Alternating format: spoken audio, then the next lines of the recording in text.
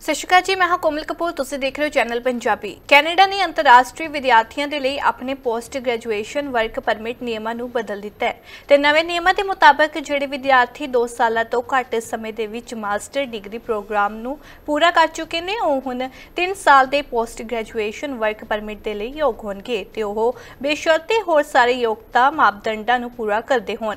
ਹਾਲਾਂਕਿ 1 ਸਤੰਬਰ 2024 ਤੋਂ course licensing agreement ਪ੍ਰੋਗਰਾਮਾਂ ਦੇ ਵਿੱਚ ਦਾਖਲ ਹੋਏ ਵਿਦਿਆਰਥੀ ਹੁਣ ਪੋਸਟ ਗ੍ਰੈਜੂਏਸ਼ਨ ਵਰਕ ਪਰਮਿਟ ਦੇ ਲਈ ਯੋਗ ਨਹੀਂ ਹੋਣਗੇ।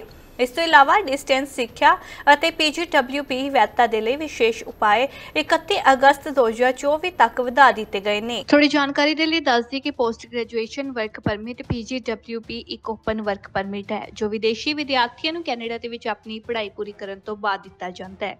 ਜਿਨ੍ਹਾਂ ਦੇ ਕੋਲ ਪੀਜੀਡਬਲਯੂਪੀ ਹੈ, ਉਹ ਕੈਨੇਡਾ ਦੇ ਵਿੱਚ ਕਿਤੇ ਵੀ, ਕਿਸੇ ਵੀ ਰੁਜ਼ਗਾਰਦਾਤਾ ਦੇ ਲਈ ਜਿੰਨੇ ਵੀ ਘੰਟੇ ਚਾਹਣ, ਉਨੇ ਘੰਟੇ ਕੰਮ ਕਰ ਸਕਦੇ ਨੇ।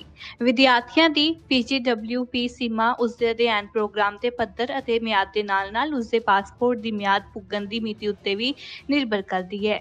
ਜੇਕਰ ਵਿਦਿਆਰਥੀ ਨੇ ਕਿਸੇ ਵੀ ਮਨੋਨੀਤ ਲਰਨਿੰਗ ਇੰਸਟੀਟਿਊਸ਼ਨ DLI ਤੋਂ ਗ੍ਰੈਜੂਏਸ਼ਨ ਕੀਤੀ ਹੈ ਅਤੇ ਕੰਮ ਕਰਨ ਦੇ ਲਈ ਅਸਥਾਈ ਤੌਰ ਉਤੇ ਕੈਨੇਡਾ ਦੇ ਵਿੱਚ ਰਹਿਣਾ ਚਾਹੁੰਦੇ ਨੇ, ਤਾਂ ਉਹ PGWP ਦੇ ਲਈ ਯੋਗ ਹੋ ਸਕਦਾ ਹੈ।